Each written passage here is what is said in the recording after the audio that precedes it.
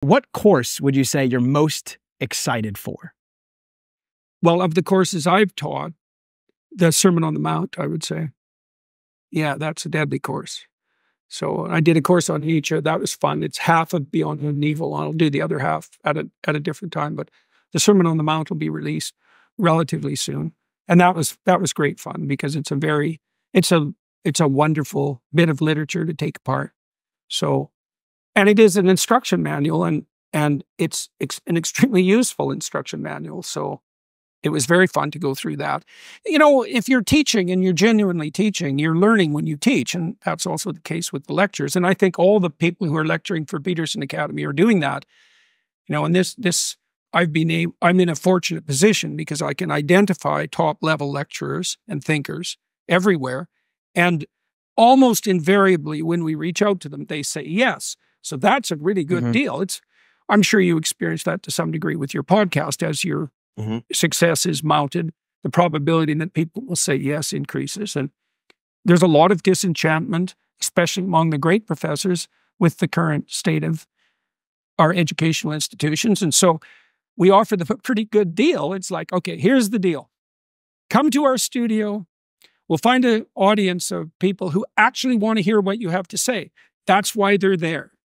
And so, and then you can teach whatever you want at the highest level that you're capable of and will pay you better than you can you'll be paid by, by, your university. And it'll be better than a book deal and you'll be able to teach more people and will treat you extremely well while you're there. Well that's a good deal. And so people come down there and they're they're very happy because they're treated well and they want to come back.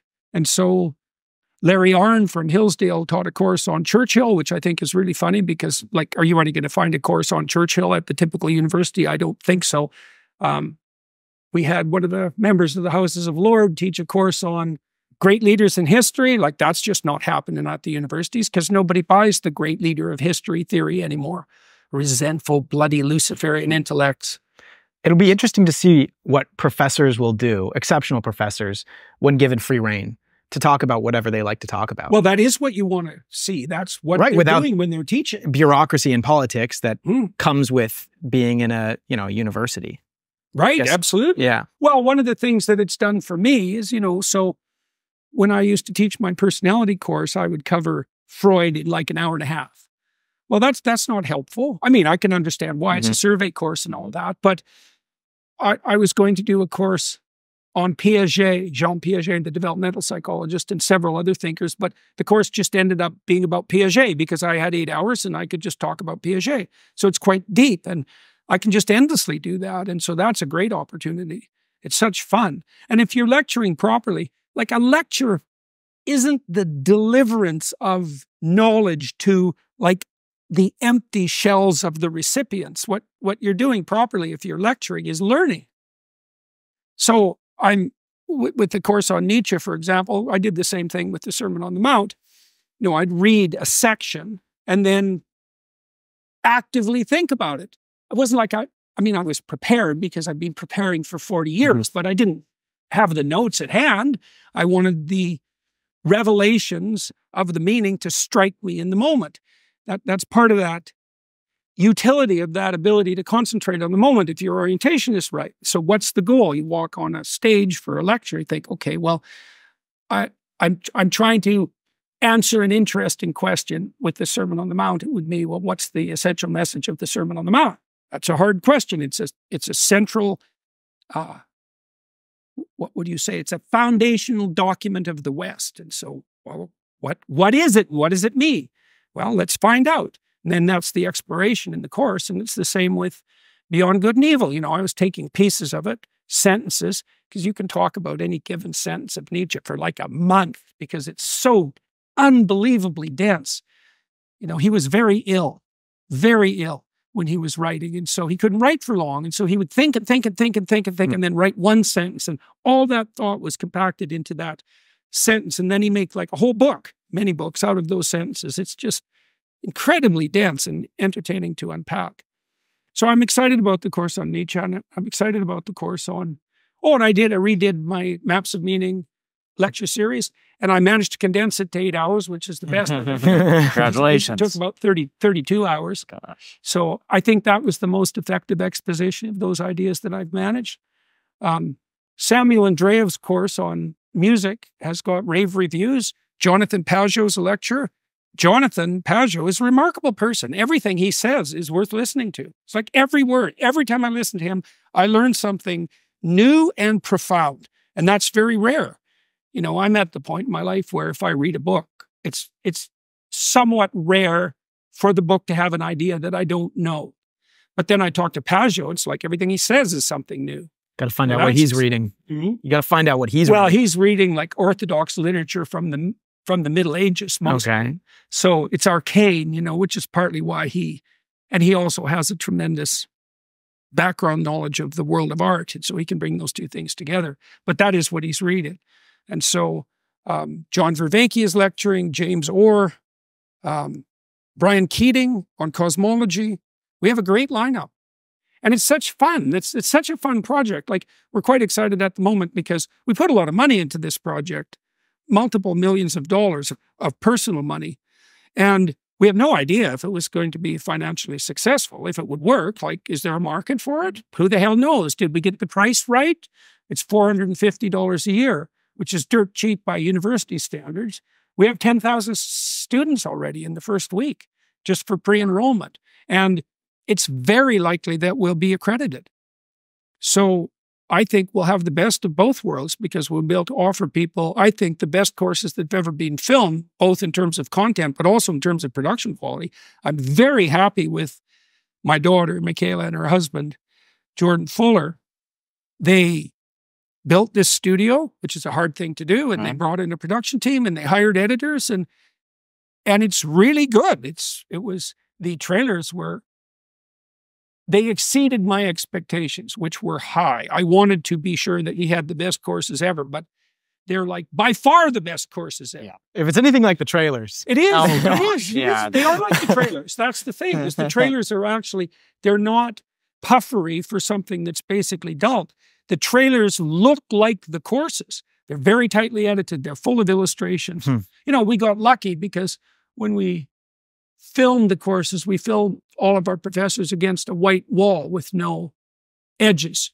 And at the same time, these AI systems emerged that could do custom made illustrations for if you know how to do use them. Every course has its own style sheet. Like it's integrated so the offerings have a cohesion, but they all have hmm. their own style sheet. They're beautifully illustrated, and we can fill the background behind the professor with commentary and images and words. And that technology only emerged like six months ago. So, So that cool. was perfect timing. Timing. And the universities themselves are doing everything they can to burn themselves to the ground as rapidly as possible. We hardly even have to market because every day some university does something cataclysmically stupid and expensive. You know, what are our hopes? Maybe we can educate a million people. Maybe we can educate 100 million people. Who knows? Right? Because there's an unlimited market. The price is very low. It's universally accessible. We're going to be able to translate all the courses into the world's major languages. That's already at hand. There's some expense in it, but if we generate enough capital, that's irrelevant, and we probably will by the looks of things. I mean, who knows? But 10,000 pre enrollments in the first week is quite promising. And people have actually been positive about the price. So it's I mean it's very inexpensive. people are happy about the price, which means that maybe we undershot it slightly. But well, because maybe if you get it right, some people. So will where do you balance the price on that versus getting more revenue to be able Oh, to it's very reinvest hard. back? Yeah. Pricing is very, very hard. I mean, there's a lot of things to take into account, right? Because you might say free. Well, that's free is a stupid price. Free means the, your platform will be invaded with parasites and bots, right? Because there's no Success rate is going to be very low. Well, it's just it's just not a good price. First of all, people are skeptical of anything that's free. Second, people don't want something for nothing if they have a moral compass. Third, if the price is reasonable and not too low. Then no one who isn't committed will participate. And we have a social media platform that's part of it. And wouldn't it be nice to have a social media platform that had all the benefits of social media, but that only contained people that were actually committed to the ideal, which would be the expansion of knowledge? Well, so the price serves as a barrier that way, right? Because you're not going to do it if you're just casual or you only want to cause trouble. And so that's a good thing. And then well you want to you want to price it high enough so that you can expand rapidly and continue to develop and you want to price it so that if you produce a profit you can use the profit to generate mm-hmm. new enterprises. There's lots of we want to integrate my son's program essay which helps people write. We want to integrate that with the platform and we have all sorts of ideas for growth and that requires mm-hmm. capital. And so pricing decisions are very difficult. The way you solve that is you you charge what the market can bear that's the rule. And there isn't a better rule than that. And why? Because every single person out there who's deciding whether to purchase something is making a very large number of calculations with every purchasing decision. And there's no way that you can second guess that. Like you can't replace that with some rationalization. Hmm. So what's this worth? Well, we we sort of went for somewhere between 20 and $200 a month. You know, that was the initial parameters, right? And it took a long time to calibrate down to 450. Why 450? Well, it's not nothing. It's a, it's more expensive than the typical Netflix offering, for mm-hmm. example. Mm-hmm. So it distinguishes it, us from them to some degree. But also, if it's successful, it generates enough capital so that we should be able to expand our offerings very rapidly. You know, when capitalism gets a bad name, because people are foolish in their conceptions of money. It's like, well, who needs all that money? Well, you know, your typical capitalist, your atypical capitalist, Elon Musk, he's not Scrooge McDuck. Like he's not swimming around in a money bin full of coins, right? All he's doing with his money is pursuing more opportunities. And if you generate profit, then, well, you could leave, live a life of parasitical hedonism, but you know, if you have something that's halfway better to do, why the hell would you do that? The, we have the opportunity in front of us. We have the opportunity in front of us to hypothetically bring the best higher education has to offer to like 100 million people. Well, how could you possibly imagine anything more interesting and rewarding than that? Like, that's what the profit is for. It's like, do I want a Ferrari? Not really. They're too low. I'm old, you know, like I have some nice things. I have some nice houses and that's good, but you have to put your money somewhere. Mostly we put it into more enterprises and and then it's fun to see if you can make those work, right? Because we bit off very complex problems. Can we bring higher education to many, many people at the highest possible quality at the lowest possible cost? That's a very interesting set of problems. And at the moment, it looks like the answer to that is yes. We have a number of jurisdictions who are interested in accrediting us. And as long as we can negotiate the bureaucratic hurdles, then we should have a full fledged university, including accreditation, in six months. And even if accreditation doesn't work out because the bureaucratic impediments are too great, we'll just negotiate with corporations to accept the credentialing because the credentialing yeah. will be real. That's where I think education is going anyway. It's online. Like well, I learn a lot from just watching YouTube videos. And I feel like that that is the most in-depth that you could get sometimes in way more detail. And, and lots of jobs aren't requiring official like college degrees. Well, days. it's partly because the college degrees don't signify what they did. Yeah. And will ours signify that? Yes. Oh, well, also just for the sake of full disclosure, let's say, there's two pathway, pathways you could walk down if you enroll in Peterson Academy. You could just take courses like you were listening to YouTube videos, let's say, or you could take the, the exams and, and walk through the accreditation process. You don't have to do that. And we actually don't know what the market, comparative market is. A lot of people have asked whether they could take the courses without the exams. Now, so we don't know if the exams are like, will it be 25% of the people who actually want to mm-hmm. work towards accreditation or 10% or 60%? We have no idea. It could be quite low because I, it could be quite a low number. Don't know. Depends on how many people just want to learn for the sake of learning. Now, I am curious about this. Do people retain information better in person?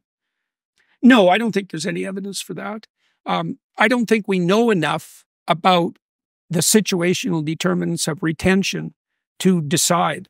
I suspect there are factors other than in person versus remote that determine retention. Probably distraction is my well, guess. Sure. And l- level of engagement with material, something like that. So, but no, I don't think that's a problem. Well, the other thing too is that most university lectures are very low quality. So at the typical university, especially the bigger universities, the research oriented universities, you can get along quite fine and be a terrible teacher. And so I would say at the typical large state school, 5% of the courses are high quality, you know, and then 40% are okay. And then, you know, there's half that, mm. you know, it's just death to sit through. And there's no excuse for that. That's another thing that we can do at a minimum is raise the bar for the universities. You know, the universities, the Ivy Leagues, they could have done this 20 years ago. It's like, who are the best lecturers? Because if the other thing about in person, if you're lecturing to a thousand people, it's not in person. You, you know what I mean? At some yeah. point, yeah, there's so many people there that it's impersonal. It might as well be replaced by video, as far as I could tell. In fact, you can listen to video at twice as fast. Yeah. That's a big deal, or four times as fast. You can review it. Our, our exams are set up in a very interesting way. So, multiple choice exams, but each question will be time stamped with the lecture. So, if you get the question wrong, you can just go to the lecture and you can find out. So, you'll be able That's to use the exams to teach you. Right. And so, yeah, it's very exciting. We've got another 50 courses lined up. We're going to produce at least three a month, and we, we might be able to ramp up past that. Um, and we have some wild plans in place too for lectures that I can't discuss yet, but we have some truly revolutionary ideas. And I don't say that lightly. And they're very likely to occur, assuming that, you know, the enrollment rate continues. And so I'm very happy about it. Um, it's, it's it's gone better than I could have hoped, actually. I was quite stunned by the trailers. The trailers. Yeah, yeah. I mean, they, they, they yeah, well, come yeah. on. You can't, those trailers were something. Yeah, they're deadly. And I, they're all like that. Like every single one of them. It's like they're punchy, they're cool. They're, they've got this, like with Gregg Hurwitz's course, it's on, on narrative construction because he's a novelist. It's got this film noir look, pulp fiction look from the 1950s that's cool. The music is well timed. The editing is really tight. The trailers are coherent. And the professors are, we have great professors. And I think that well, we're going to set up a system where we find the best professors in the world and give them carte blanche to teach what they want. That's such a good deal. So, have you considered having a financial literacy course?